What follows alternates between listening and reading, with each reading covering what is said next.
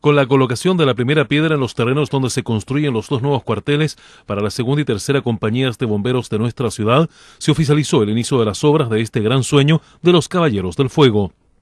Ayer domingo, en una soleada mañana, el alcalde Mario Gebauer junto al superintendente del Cuerpo de Bomberos Rolando Terra presidieron esta ceremonia simbólica que compensa los años de espera e incertidumbres que debieron afrontar los bomberos de nuestra ciudad ante los innumerables tropiezos que truncaban este sueño de sus nuevos cuarteles y cuya espera data de al menos 20 años. A la cita llegaron en correcto uniforme de parada cerca de 200 bomberos de las cinco compañías existentes en la comuna y decenas de vecinos de los barrios cercanos, principales beneficiados con la concreción de este proyecto.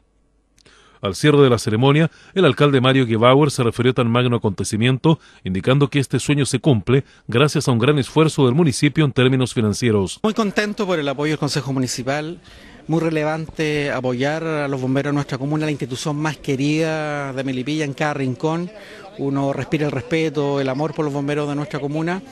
clave para el avance y el progreso de los bomberos de nuestra comuna esta inversión de casi 900 millones de pesos, que significa descentralizar la gestión de los bomberos, pero nosotros no nos quedamos ahí en el apoyo a los bomberos de nuestra comuna, hemos entregado recursos para la construcción de un cuartel modular en Pomaire y estamos a la espera también de hacer esa misma inversión en Boyenar, lo que nos va a permitir tener a los bomberos con infraestructura adecuada, infraestructura digna para ellos, para su trabajo y nosotros estamos devolviendo todo el cariño y el esfuerzo que realizan día a día cuando hay emergencia, no solamente los incendios, yo recordaba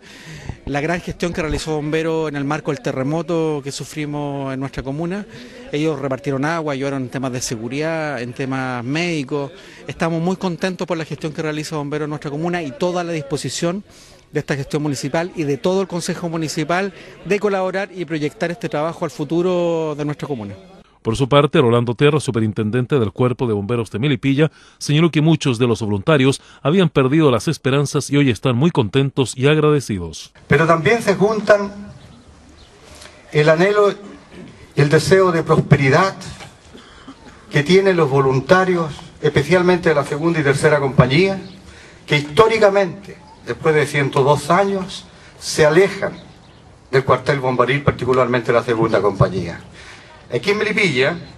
siempre en, el área urbana hemos estado juntos los bomberos urbanos. En este caso, primera, segunda compañía y posteriormente la tercera.